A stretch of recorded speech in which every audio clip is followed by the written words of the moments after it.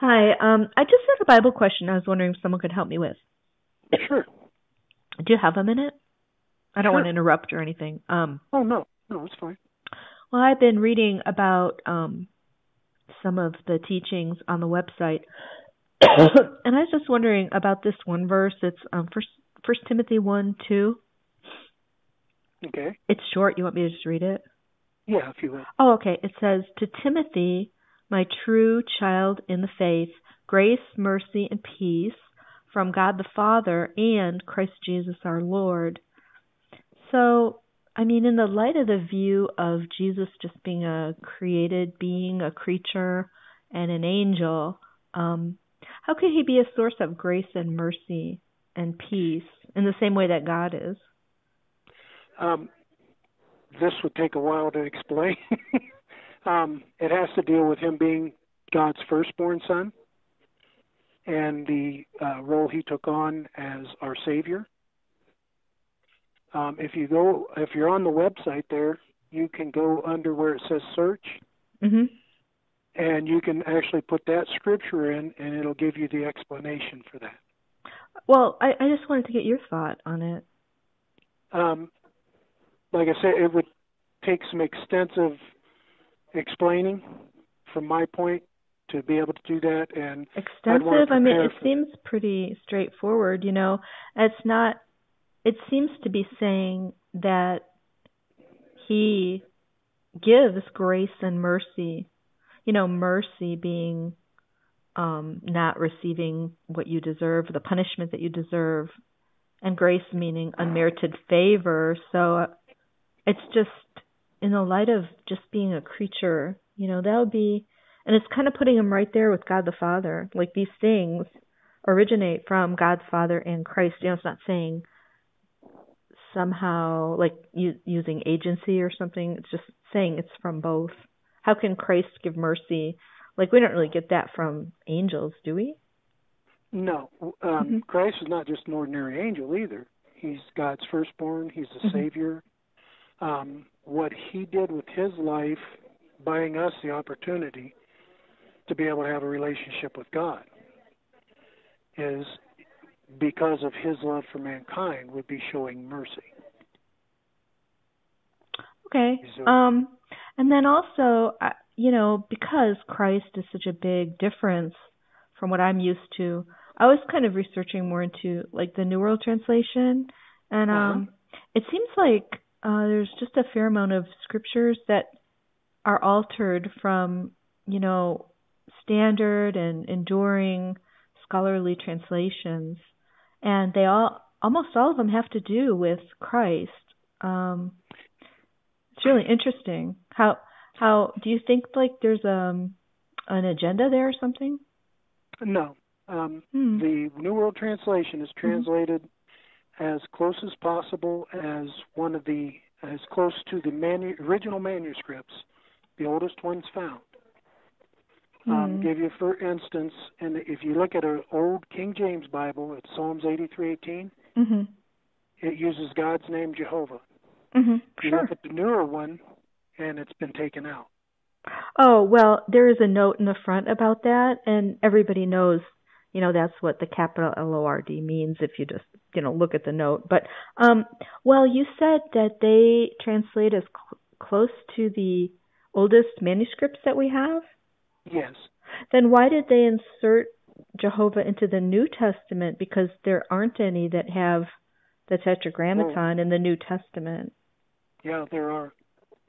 There are.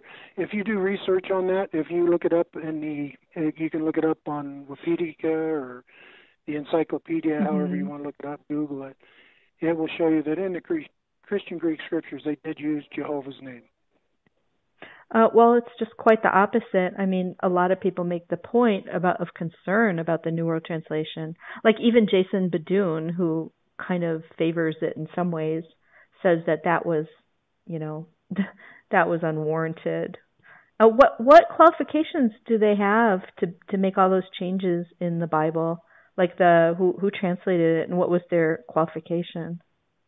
be real honest, um, again, I would have to research Oh, to give you the exact names and everything, obviously. Yeah. Um, but if you look on the website, you can look under the New World Translation, and it'll give you the answers to your questions as well. Hmm. Well, I think I saw on there it did say there's no New Testament Greek manuscripts with the Tetragrammaton, but they have this like um conspiracy theory about it that all the Jehovah's were removed. So that would have to have a lot of would have- proof about that, you know? Like Yeah. it would kind of also indicate that the transmission of the Bible isn't real reliable. Well, if if again, like I said, I can I can research it. Yeah, and get back yeah. to you on that. But uh, Okay. Okay. I mean, it's just kind of spur of the moment and. I know. and I know. think thing off the cuff. Yeah, well, thanks for your help. And um, I mean, if you use other sources too, I mean, JW Facts has a good section. Oh, you do? Yeah, and there's Yeah, a you- there's another website that's all about like this one issue, like the Tetragrammaton. It's called the tetra- tetragrammaton.org. Um, so yeah, that's cool. I didn't know any witnesses that would look at other websites. Really Well, you you know, we do our research, Mhm. obviously. awesome. You know, like my church doesn't tell me not to look at JW.org, you know, or take a watchtower or something. I wouldn't stand for it if they tried to tell me that, you know. I'd find that really disturbing. But I notice witnesses won't take anything from traditional Christians. It's almost like they're kind of paranoid. I've noticed that. Uh, no, it's just if it's not teaching what's actually in the Bible, Mhm. Mhm. and you know anything that's in there that they don't agree with, they can show you from the scriptures. Hmm. The next time they're at your door, if you want to ask them, you know, Mhm. just ask them what they you know they feel on some subject and let them explain it. I guess so. We could do the same thing to Jehovah's Witnesses, and if if everybody used that kind of reasoning, no no one would take your your things either. You know. Yeah. We have the truth. We're not going to take that. Yeah. But anyways, well, check out tetragrammaton.org. It it does get really deep. It's I think you'd be really interested in it, and um, Okay. I'll I'll look on your website too. Okay. Thanks for Okay. talking. God bless you. you. See ya. Bye bye. Is this the Kingdom Hall? Uh, no, uh, but I, uh, I am a Jehovah's Witness. The calls are coming to me right now. Oh, I see. Yeah, I just had a question I was wondering if someone could help me with. Did you need to speak with an elder? I can connect you to someone. Oh, well, I'm sure if you have a minute, I'm sure you would know. You might know. um, okay. Um, Hopefully. well, I was uh, reading an article on JW.org. Um, I've never been a witness, but I like to read about religion and things like that, and a Bible, you know. So, anyways, I was reading this article from the Watchtower. It's called Do Not Let Doubts Destroy Your Faith. Oh, I- yeah. I thought it was really interesting because, um, you know, it says that um, we should. Um, well, I can read you a little snippets of it, but it says that um, at times you need to suspend acceptance of something till you are sure of the facts. Religious exhortations to the effect that you should just believe and should doubt nothing are dangerous and deceptive. And um, it says, A loving Christian is certainly ready to believe those who have proved trustworthy in the past.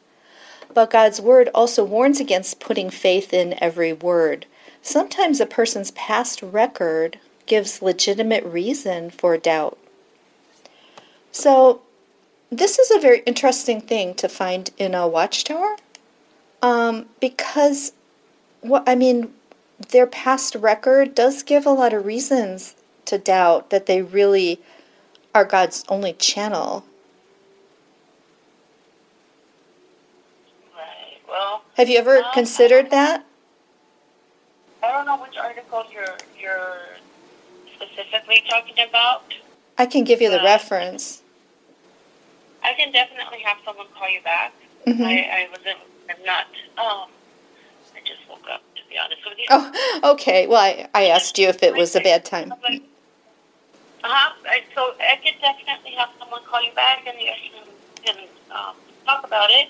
What's what's your what's your thought? Uh, you sound very intelligent. I mean, what's what's your thought on having an article like that in the Watchtower? It really surprised me because it might um, spark even witnesses to look at their past record, you know, to see if they should be doubted or if they should be believed, or is that just for other religions they're talking about? Like I said, I would need to see the article. Mhm. And I can give you the reference. Would you Would you like to have the reference on that? give me one second. What? Give me one second. Oh, sure. One second. Right, Kim. Right, ready, sit down. Okay. Um. Okay, go ahead. Um, it's the 2001, um, July 1st, page 18 through 21. And what's the name of the article? Do not let doubts destroy your faith.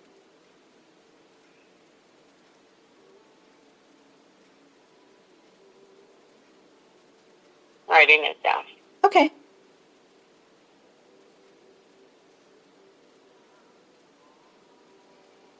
So, I want to read it Okay. and see what you where, what you're talking about. And then, what's your name? Christine.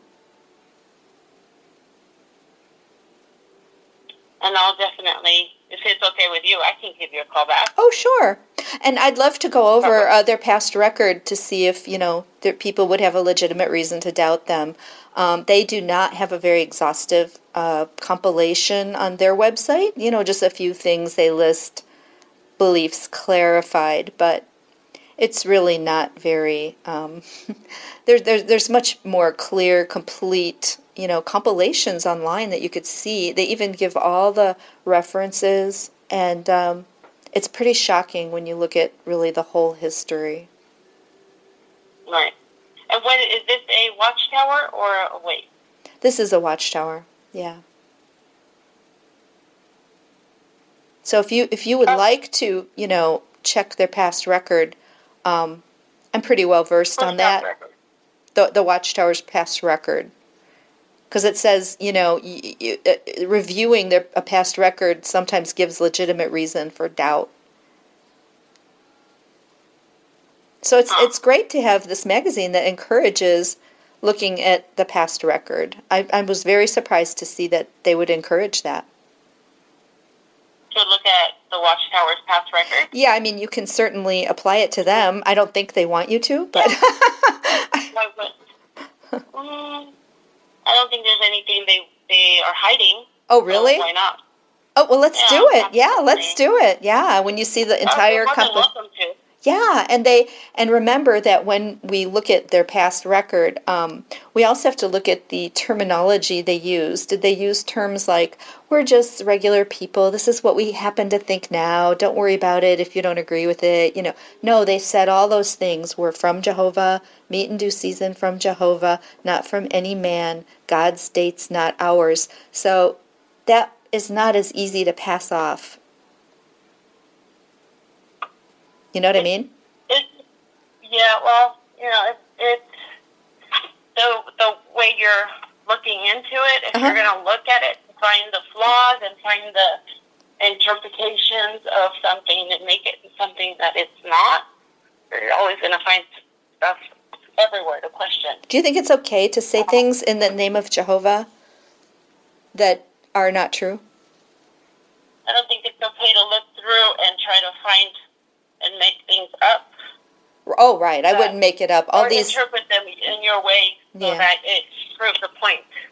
Do you think saying? you. Do you think So saying? you know what? Um, this is not going to be productive. oh, it really, it really could magazine, be. But this is not productive, so Yeah. don't don't don't go for that type of questions. I, Oh, you know, I see. Okay, so this article not- doesn't apply to them. Just other religions. You know, it's this is directed I'm not saying other. anything like that. Uh-huh. You are putting, you're interpreting things your way, Uh-huh. and that's not going to work. So, thanks for calling, and you can do your research and make up your own. Yeah, do if you yours. want, or Do you yours, to too. Witness. JWFacts.com is great. JW So- Facts. JW Facts. No, thank you. God So bless you. God bless Bye-bye. you.